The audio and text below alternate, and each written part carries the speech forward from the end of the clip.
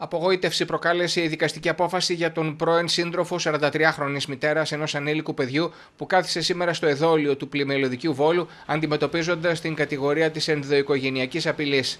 Η υπόθεση αφορά στον Αύγουστο του 2022, όταν η 43χρονη έβαλε τις φωνές, όταν όπως καταγγέλθηκε δέχθηκε επίθεση από τον πρώην σύντροφό της στο σπίτι τους στη Ζαγορά.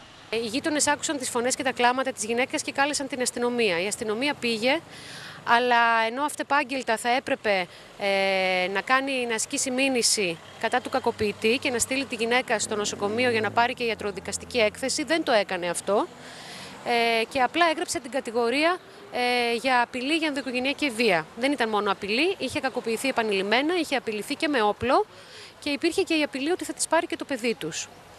Ε, οπότε εμείς καταδικάζουμε αυτό το γεγονός, γιατί για άλλη μια φορά η αστυνομία δεν έκανε τη δουλειά της και θυμίζω την υπόθεση της Κυριακής του Αγίου Αναργύρου που δολοφονήθηκε η κοπέλα μπροστά από το αστυνομικό τμήμα, γιατί πάλι η αστυνομία δεν είχε κάνει τη δουλειά της. Η οργάνωση Μαχητικές και Ελεύθερες συγκεντρώθηκαν το πρωί στα δικαστήρια του Βόλου για να εκφράσουν τη στήριξή τους στη 43χρονη.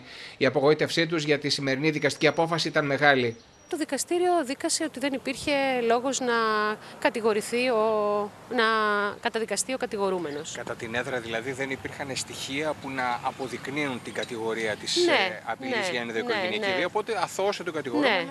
Το οποίο όμως συμβαίνει πολύ συχνά, το ξέρουμε όσοι ασχολούμαστε με υποθέσεις ενδοοικογενειακής βίας, γιατί τα θύματα φοβούνται πάρα πολύ και η ίδια η γυναίκα δεν πήγε να τον μηνύσει από μόνη της, γι' αυτό πρέπει να το κάνει η αστυνομία.